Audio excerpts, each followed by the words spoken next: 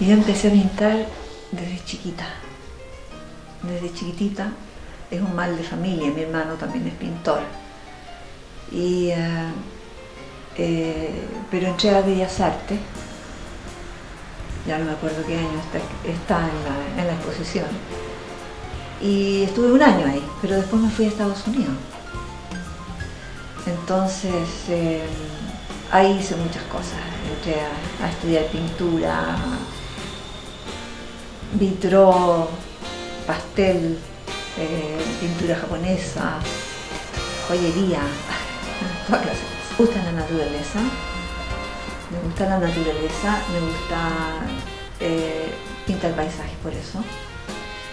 Y ah, quisiera retener siempre las cosas que veo y que me gustan, y por eso que las pinto. Me interesa vender, yo pinto por placer, porque me hace bien pintar, me siento bien pintando, me relaja, me mueve a otro mundo.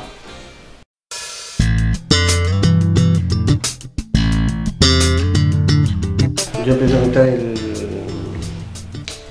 el 90, En el año 90. ¿Por qué?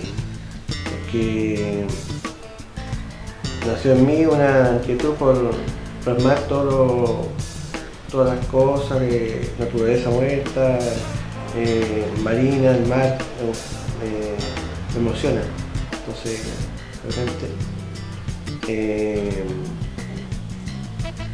y, y es- algo que te hace uno que, da la fuerza pintar, para poder expresar y poder expresar esas emociones, sentimientos.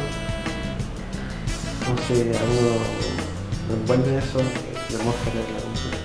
La alcaldesa porque a uno lo, le hace demostrar al resto que, que ahí está actividad cultural y puede desarrollarse la comuna, entonces eso es bueno porque los, jóvenes ven que uno pinta, se emocionan también y, y pueden expresar sus sentimientos en la pintura y pueden eh, desarrollarse y hacer talleres y toda esa capacidad de cosas.